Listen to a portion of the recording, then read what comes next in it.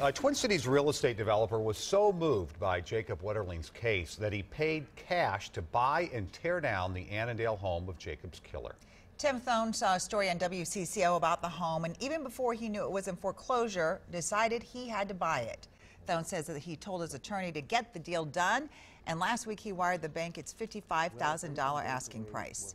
The city of Annandale had tried to purchase the home three times, and its offers had been rejected. Tim Thone's act is drawing thank yous from a grateful community and Patty Wetterling. Here's Esme Murphy. It's definitely proof that uh, Christmas miracles do happen. From the mayor of Annandale to neighbors, there is gratitude. It's just a beautiful gift, especially this time of year. The gift is that developer Tim Thone is purchasing and plans to destroy the home of a predator, kidnapper, and murderer. This was the right thing to do. Thone says he knew the second he saw the home on TV what he would do. And I looked at my wife and I said, if that house is there, still there, I'm going to tear it down. Thone says Jacob's 1989 abduction changed the way he and his wife parented their four young children. It was very emotional. We lived on a rural lot, six acres.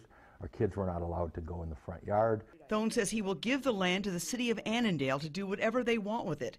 His only two requirements that neither his name or Danny Heinrich's name be attached to whatever the city plans to do. Two days ago, he was stunned to get a thank you call from Patty Wetterling. It was a very emotional um, conversation. I could not, I apologized many, many times for her loss, which I can't even imagine. She just described that um, it, it, it means a lot to her. It means a lot to the children who were abused by the predator, um, too, and it could mend and heal a little bit. And Patty Wetterling said in a text tonight, what a generous gift to so many. Now, Thone says he expects to close on the deal this Friday and hopes to tear down the home next Friday, two days before Christmas. And he's gotten a number of offers from people saying they want to donate to help him buy the house. And Amelia, he says he doesn't want that money.